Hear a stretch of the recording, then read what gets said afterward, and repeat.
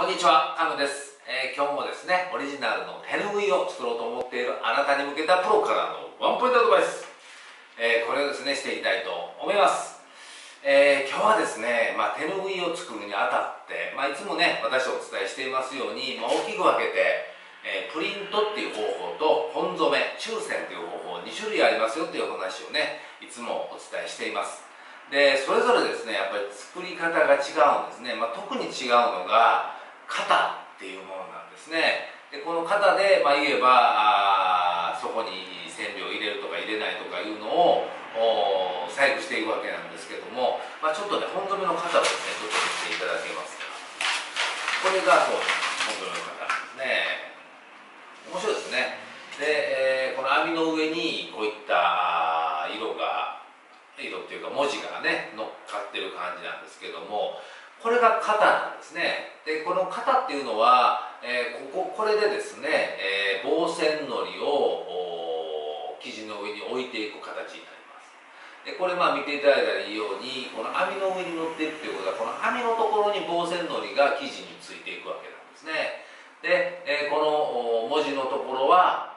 ね、えー何ものりが乗らないという形になります。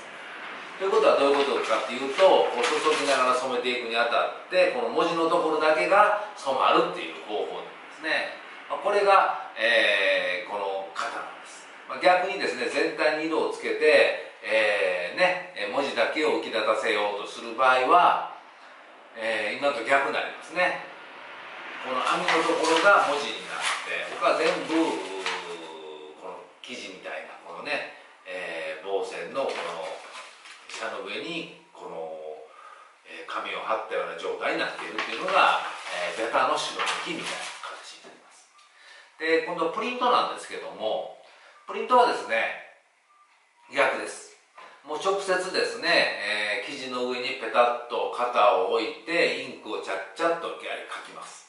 ね。えーですから、えー、下のところ、まあ、この型でいうところの網のところがあ色がついて、の文字のこれでいうとこの文字のところですね。文字のところは色がつかない、まあ、ベタの白抜きみたいな形になるのがプリントの型の特徴なんですね、まあ、それぞれやっぱり作り方工程によって、えーその型っていうのがあなっていくわけなんですけども、えー本染めの型はですね今お伝えしたようにちょっと粗いんです。まあ、糊をつけて中線注ぎながら染めていくっていうことでそうした繊細な柄っていうのはなかなか難しいです、まあ、一方プリントの場合はですね、えー一発でこう書いてシャッシャッと書いていきますのでその分、えー細かい柄も表現しやすいです、まあ、これがプリントの特徴なんですね。ですからまあ自分のデザインに合った作り方っていうのがあやっぱり出てきます。どうしても本染めが欲しいんですということであればそれなりのデザイン必要ですし、えーね、プリントでしたら結構細かいものまで出るんでそんなに、えー大雑把に作ることもなく綺麗にできてくるみたいな感じで